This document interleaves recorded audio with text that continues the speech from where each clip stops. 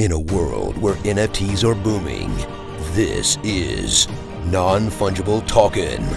We cover drops, pack breaks, and fun stuff in the world of NFTs. Hey collectors, time for another NFT review. So in this one we're going to go through some free NFTs from a blockchain called Tezos and it's from the oneof.com website. So if you go to oneof.com you can sign up for an account and get some free NFTs. So if I log in, I'd already knew who I was. Over time, there's been a few different free NFTs you can get, primarily around iHeartRadio, but uh, the first one here is from the Grammys, and this one's actually free. So if you click on that, you should be able to claim it from here and then click claim and we get a free NFT. So if we go over to view our collection, we can see that there's uh, a new NFT in our collection. And I'll just play this one.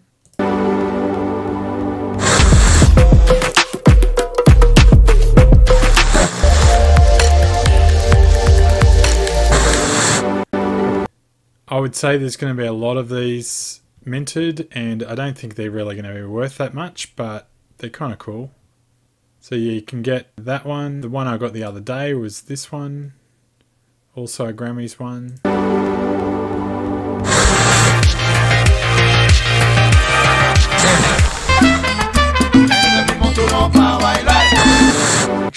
So I'll show you some of the other ones I've got. So this one is still available and it's from the Breakfast Club, or depending on when you're watching this, of course. I think with the OneOf project, they'll keep doing drops for free because they want more and more people to come into it. But I reckon if you keep some of these for a really long time, you never know, they might be worth something. And you can see here this is from the Breakfast Club, which is a radio program. Uh, some other ones I had from the iHeart Radio Music Festival.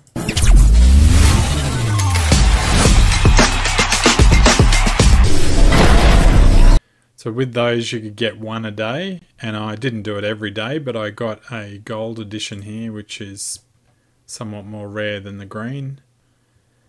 I don't think these are really going to be worth much but I like the Grammys one I thought that was cool and you know it's free. It takes you two seconds to sign up. You don't need a MetaMask or anything else. You sign up with an online account. And I was surprised to see, particularly with the Breakfast Club one, that they are actually using IPFS for the storage of their NFTs, for the images that is. So for those that don't know, IPFS is a very good way of storing files so that if a website goes down, it won't affect the file and it's stored on the blockchain. For example, Bored Ape Yacht Club are stored in IPFS and that allows holders to know that there's a bit more assurance that it should stay online because it is kind of a blockchain stored file. Anyway, check out oneof.com and you can see through the marketplace they've got a Notorious BIG coming up. Uh, most of these aren't going to be free, some of them are low cost. So if we go to their marketplace, we can see what was being sold before. I like this one particularly. Some really cool uh, different ones, and these are one of one. And uh, we go the low price on these. It's fifty dollars. I think it was slightly cheaper the other day. I don't know that I would actually buy these, but you know they're pretty cool to look at. And if you are after a profile image, it might be worth it. I'm actually looking at buying an NFT purely for that reason, so I can have a NFT as a profile image, but I'm looking to not spend too much on it. But you know, something like this is pretty cool. And yeah, you can go back and have a look at all the other ones that are sold. Uh, some of these are the, from the Breakfast Club as well. So normally when they give away a free one, they also sell other ones. So these other Grammys ones were sold at the same time they released their first set. That's about it really. Check it out. Just log in and claim some free NFTs when you get an email about it.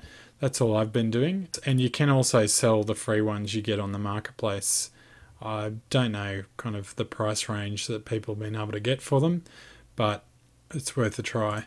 Uh, one thing to note too is with these, I, you can see here this is actually closed, being able to get this one, but the edition hasn't been assigned, so I can't sell it yet.